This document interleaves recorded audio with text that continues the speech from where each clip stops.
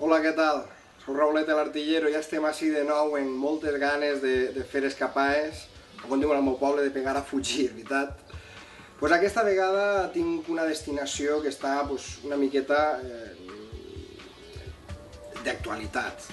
Dic d'actualitat perquè fa poc vaig llegir que, que han tornat a obrir les coves d'Altamira, després de 8 anys tancades per, a, per, per problemes de, de la contaminació. Es obriran, però, però serà poca gent la que puga accedir, així que si voleu, a través de la seva pàgina web, podeu accedir per si teniu sort i, i, i se, poden, se poden visitar.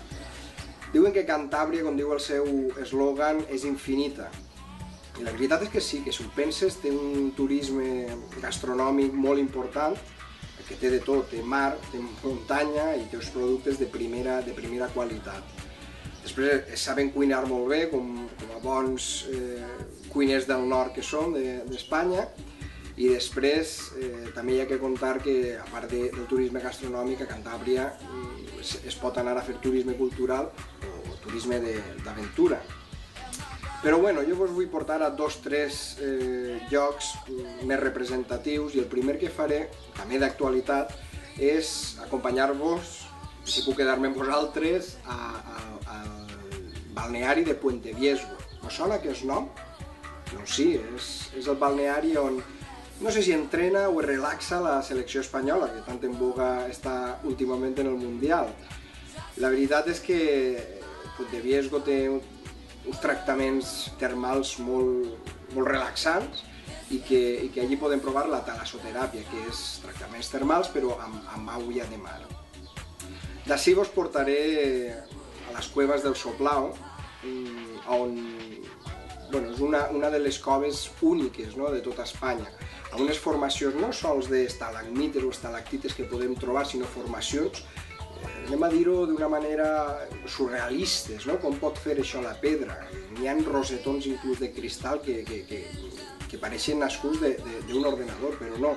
Han sigut els milions i milions d'anys que han passat els que han format aquestes pedres tan mm, magnífiques. És una de les coves eh, a visitar, a part d'Altamira, com no.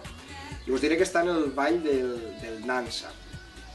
També, si estem en Cantàbria, doncs, fer una passejadeta per, per Santander, que, que és la seva capital, i eh, sobretot anar a Santillana del Mar.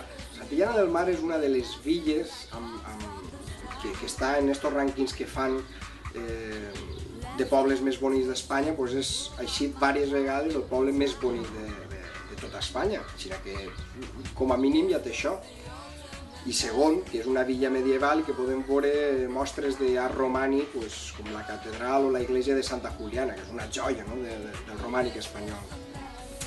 I si ja estem allí, estava parlant de gastronomia, Cantàbria, si, si algo se la coneix i, i el president de, de Cantàbria exercís de tal, és per les seves anxoves. Les anxoves del Cantàbric són espectaculars, ho dic de motu propio perquè quan vaig estar eh, fa poc per allí em vaig portar un, un, un pot, no?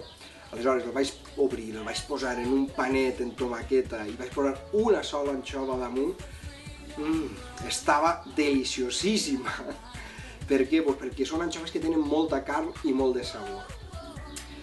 A part de, de l'anxova, Cantàbria també és coneguda pues, per, per la olla podrida o la olla del ferroviari, això que més valents, no? perquè necessiten eh, bona cosa d'aliment, o per els sobaos pasiegos.